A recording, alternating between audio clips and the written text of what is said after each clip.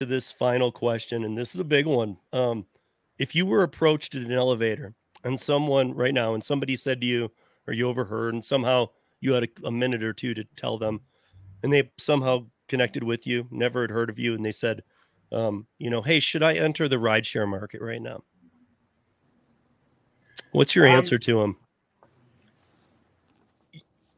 Firstly, I'd say, hey, um, I, I, would strongly advise that you go out and, and finance a brand new car. And I, I think what I would do is, you know, the moment I got out the elevator, I'd like to try and spend a few minutes with that individual and say, you know, here's if you want my number, let me text you a couple of uh, good links or good information um, outlets on social media where you can collect a lot of good good info. I, I, I I'm I'm still approached sometimes, you know, at, at Starbucks and that by newbies um, or people that are thinking of, of, of getting involved, and I'll, I'll I'll take the time to to to educate them, right?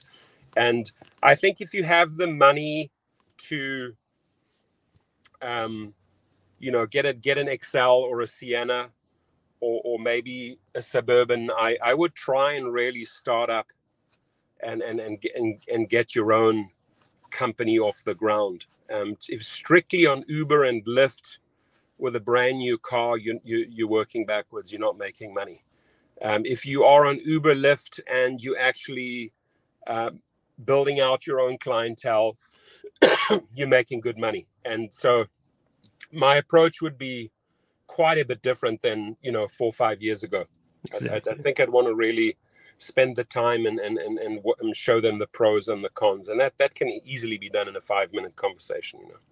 Yeah, but just in passing, if it was a yes no type thing, um, I mean, I know there's it can't be, but if you just had w- seconds kind of thing, I would like, just say no to entry level UberX or Lyft regular if if if you really thinking of of going out and making a big purchase and thinking, hey, this is this is my new job. If you can find a a used car or, or a car at an auction, uh, you know, a hundred thousand mile car for very little money, why not try it out? But um, uh, hate to say it, the answer is no. I, I, wouldn't encourage them to do it. Yeah, it's a special type of person for sure. Um, yeah.